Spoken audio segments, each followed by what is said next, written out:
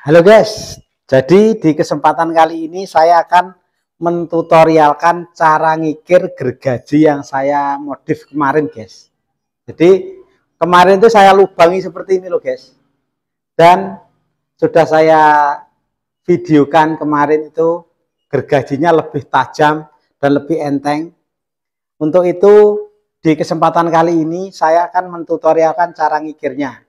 Gimana agar gergaji yang apa itu dimodif ini bisa tajam silet. Jadi pertama-tama untuk menghasilkan kikiran gergaji yang presisi ya guys ya. Lebih baik teman-teman lepas gagangnya ini. Jadi biar nanti enak. Kemudian kita jepit menggunakan klem C dan bagian ujung bisa kita sekrup guys ya bagian lubangnya itu biar kenceng. Jadi kita mengikirnya enak. Kita menggunakan kikir tekiro yang kecil guys bukan yang besar. Begini. Langsung bisa teman-teman perhatikan pelan-pelan ya guys ya. Jadi untuk mengikir gergaji modifan ini kita bisa mengikir layaknya pikiran tukang tukang-tukang biasa itu guys ya jadi kita miringkan sekitar 30 derajat dan kita gerakkan maju searah mata gergajinya ya guys ya. Oke, tip buat teman-teman yang belum bisa ngikir, bisa teman-teman perhatikan pada waktu kita menggesekkan itu agak tekan ke dalam guys ya, biar bisa membentuk mata baru. Oke, ya, bisa teman-teman perhatikan sendiri seperti itu. Nah, dan dalam menggesek ya guys ya, dalam menggesek mata gergajinya itu teman-teman sebaiknya hitung. Misalkan ya, itu tiga kali, tiga kali terus, dua kali, dua kali terus ya guys ya itu. Dan ini rahasia mengikir bagi tukang kayu. Oke, sambil kita balik ya guys ya. Nanti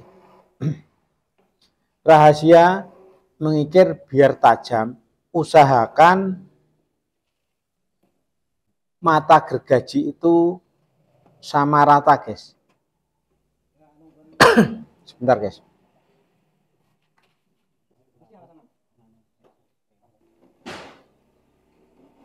Jadi seperti ini ya. Perhatikan ujung mata gergajinya itu harus sama. Satu dengan yang lain sama. Itu adalah kunci agar gergaji kita bisa tajam. Dan tujuannya apa? Saya lubangi kemarin.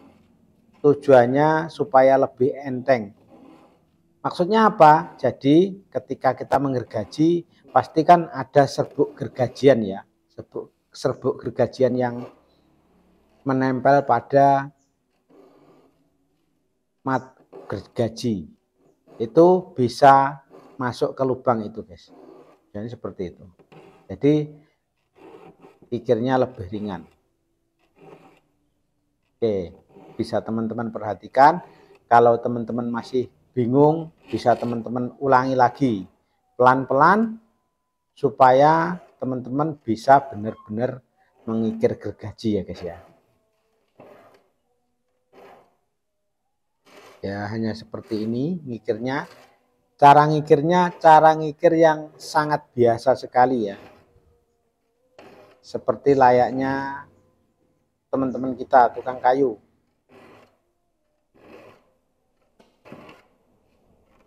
Oke nanti setelah ini selesai kita coba untuk menggergaji ya guys ya. Dan bisa teman-teman praktekkan. Oke, sudah selesai. Dan ketika selesai mengikir pastikan ujung mata gergaji itu benar-benar sama ya guys ya. Jangan ada yang tinggi dan ada yang rendah. Kalau masih ada yang tinggi dan rendah, itu masih kurang tajam. Oke, kita cobakan ke bambu ya guys ya. Ini bambu kering dan hasilnya seperti ini. Bisa teman-teman lihat sendiri. Insya Allah gergaji ini hasil gergajiannya sangat presisi guys dan enteng. Gergaji ini bisa untuk menggergaji bambu dan juga kayu guys. Demikian yang bisa saya sampaikan. Semoga ini bermanfaat untuk teman-teman semuanya.